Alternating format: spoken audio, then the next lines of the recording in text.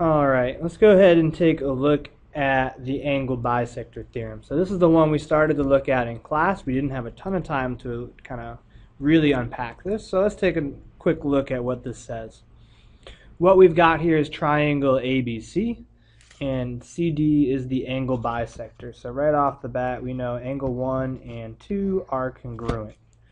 And when it does that, the angle bisector kind of splits this triangle up into some proportional segments we're not going to discuss the proof of why this works here in this video. We'll try and take a look at that in class, but for now, let's take a look at what is going to happen. Let's see what this angle bisector does. What we can see here is that the angle bisector is going to take this side in AB and split it into two segments, AD and DB. And it's also going to be kind of used in conjunction with sides AC and CB. And the proportion that we can ultimately end up writing when we take a look at this is that we know that AD, which is the first highlighted segment we talked about here, over AC, which is kind of the side that it matches up with here on the left, that's in the same ratio as if we were to look at DB, which is the other side of AB that it gets split up into over the side CB, which is the side of the original triangle that the segment's adjacent to. And again, we saw this in our last proportion we were able to write. We could, in theory, split this up and kind of swap those two um, segments that are in the mean position and write another proportion. We could write AD over DB is equal to AC over CB. Equivalent proportions, it just kind of changes the meaning here. Uh, and the second proportion, AD to DB, means we're kind of comparing the left side of AB to the right side of AB. And then AC over CB is referring to kind of the left segment of the angle and the right segment. So either one of these works, and it'll kind of depend on which one we want to use will be determined by the information that we're given, what might make it easier for us to work with. So let's look at some examples that are going to use these two proportions. So here we've got triangle XYZ. It's, the problem tells us that XY is equal to 3, YZ is equal to 5, and then it goes and says if YW bisects angle XYZ and XW is 2, what is the length of XZ? So it's asking for the entire length of that side. So let's call that X. And let's try and set up a proportion here. Taking a look at our angle bisector theorem, we should be able to write the proportion that xw over xy is equal to wz over yz.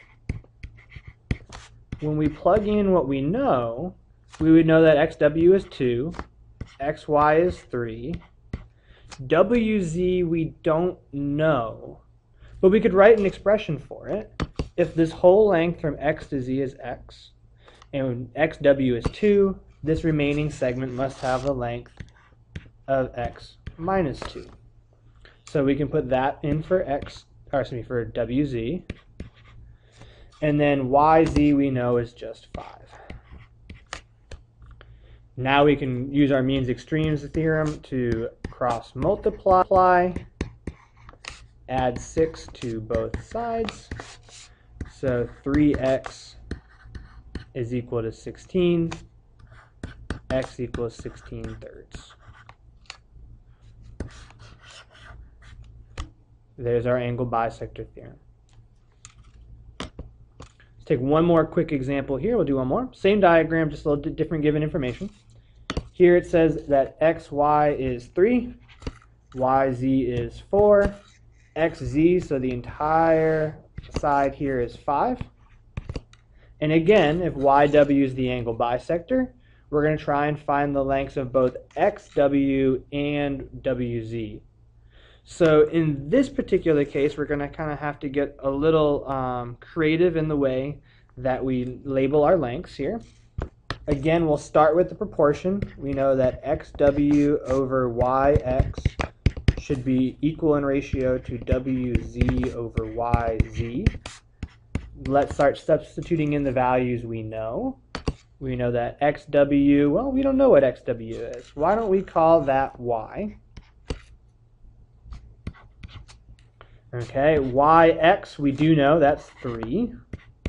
WZ, again, we don't know it, but if we look back over to our diagram, we should be able to write an expression for it. If the whole length from x to z is 5 and x to w is y, this should be 5 minus y. So we can put that into our proportion, and y over z is 4. And again, we, let's solve for y. So cross multiply 4 y is equal to 15 minus 3y we can add 3y to both sides.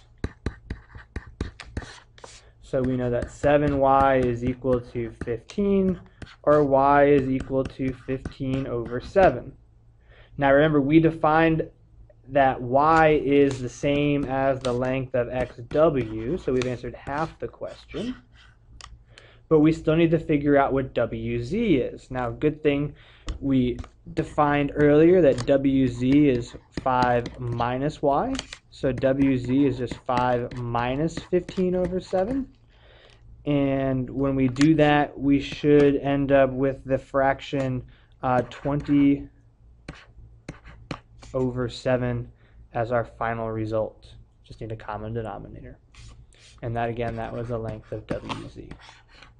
So there's two examples on how to use the angle bisector theorem to set up a proportion and solve it for the missing lengths of a triangle.